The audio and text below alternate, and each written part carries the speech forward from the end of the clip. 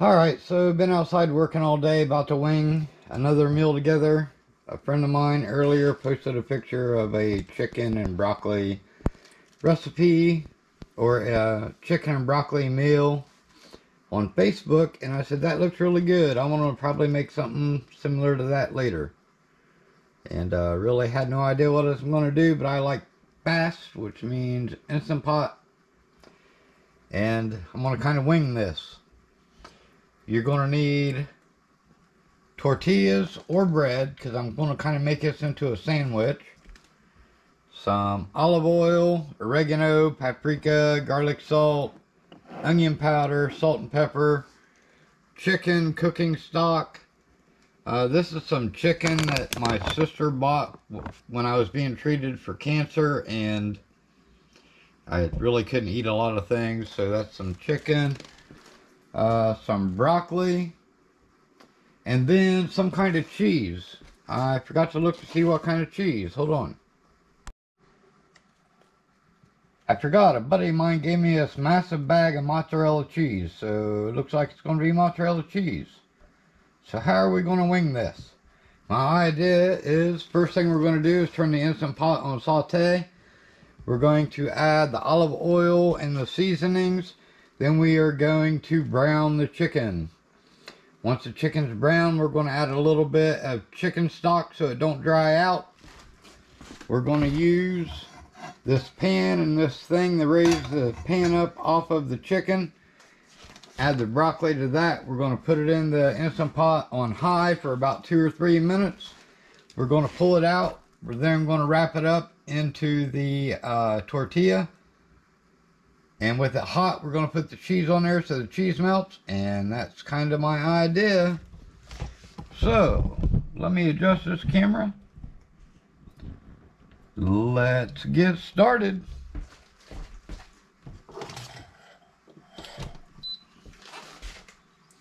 Turning the Instant Pot on saute.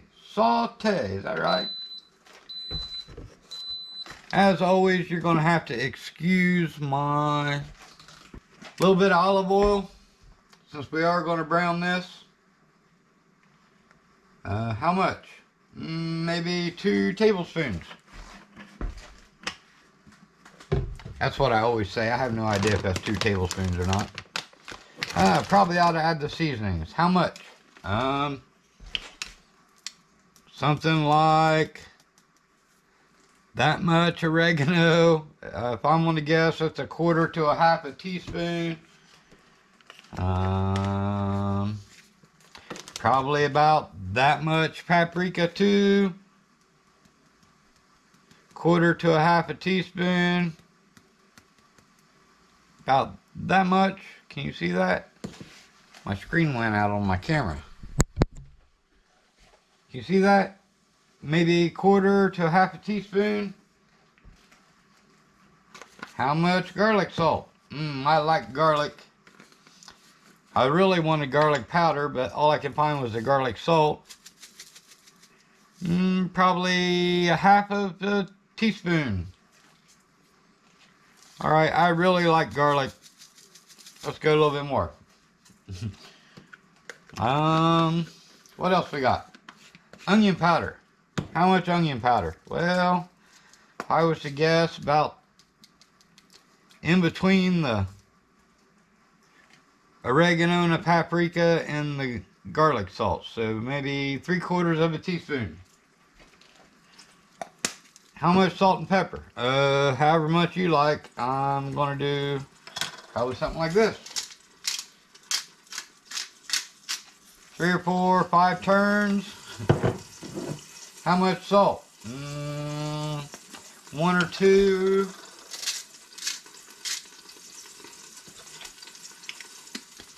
And then I'm just gonna dump this. Uh, this is a pulled chicken breast, by the way. My sister got this from Tyson. Again,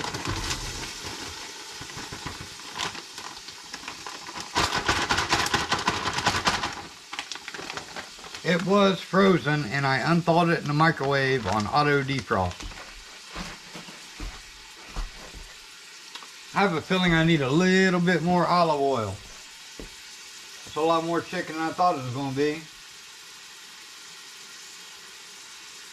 I don't want to go too much, but I don't want it to be sticking either. So now we got that in there. I need to find something to stir that up with. Looks good. The chicken's supposed to already be cooked. I kind of want it to be brown though, right?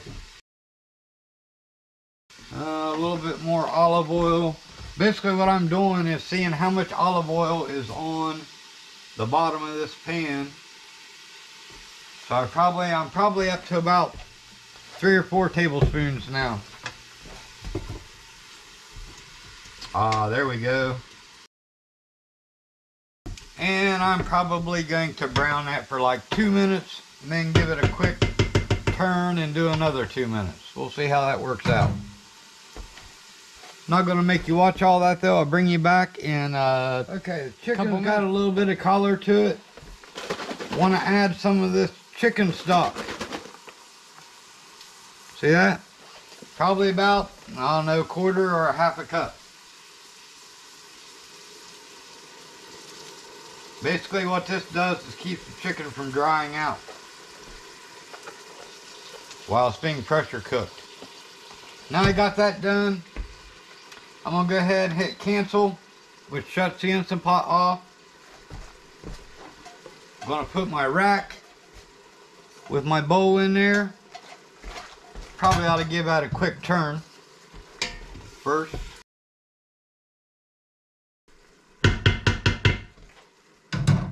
Go ahead and add our pan in here.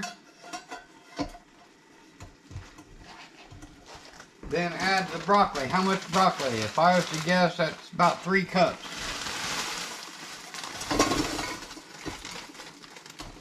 And it is frozen. I'm going to go ahead and put this lid on.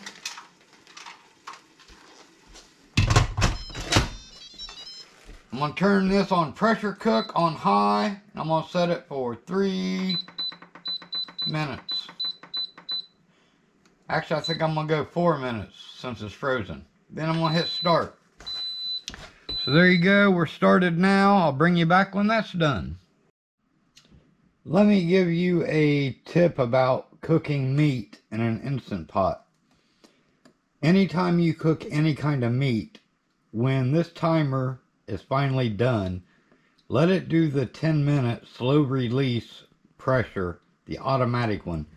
Don't reach up here and push it down to vent it manually.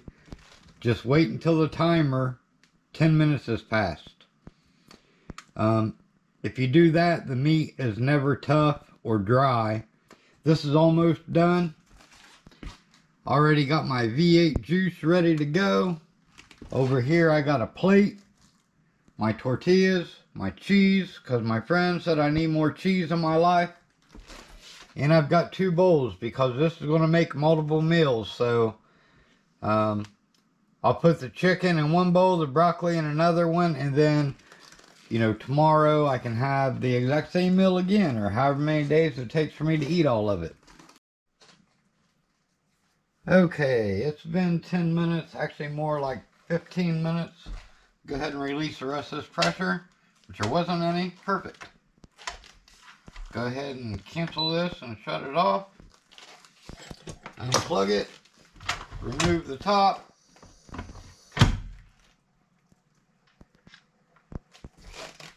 We'll set it to the side. I'm going to go ahead and put, adjust these cameras so you can see it a little better. I'm going to go ahead and put the broccoli into this bowl. Is that hot? It's kind of funny. I don't even really feel anything anymore.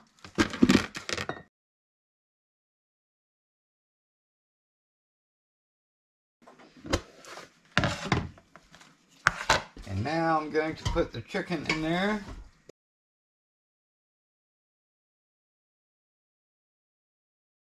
Move this Instant Pot out of the way so you can see how I'm going to put these together. Alright, so I'm going to take a tortilla. Would have been nice. Maybe I should have heated those up in the microwave too, but oh well. Lay it down. Put some of this cheese on there.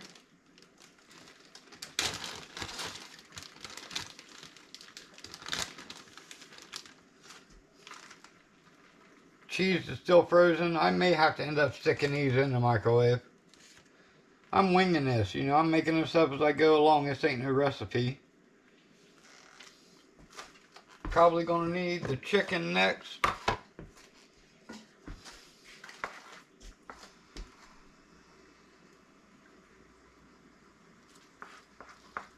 Mmm, man, it really smells good. There's the chicken. Probably gonna need the broccoli next.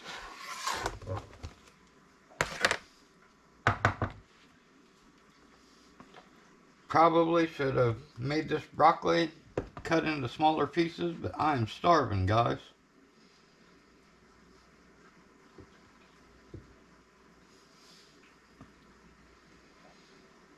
Alright, I think what I'm going to do, I'm going to roll these up, and then I am going to probably stick this in the microwave so that this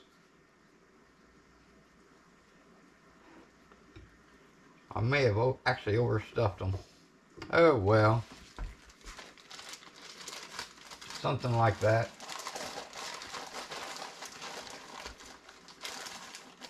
I don't think I don't think this is actually hot enough to actually melt these so or to melt the cheese which is still frozen. There's a lot of cheese. I like cheese.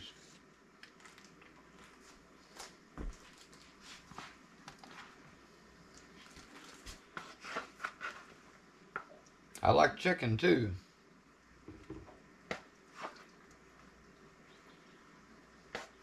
Now how am I going to stick this chicken in the microwave without it drying out? I got a trick for everything.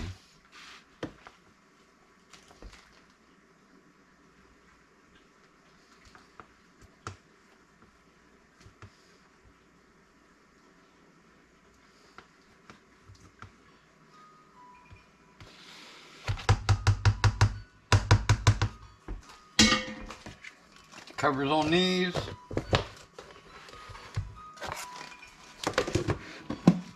get this cheese put in the freezer. Anyways, what I'm going to do, I'm going to cover this with a towel. You could use paper towels or a kitchen towel. And then I'm going to stick it in the microwave for one minute. I'll bring you back when that's done. And there's our finished product. Nom nom nom. They could have been a little tighter, but you know what? I'm hungry. My stomach ain't going to complain. They wasn't rolled up very good.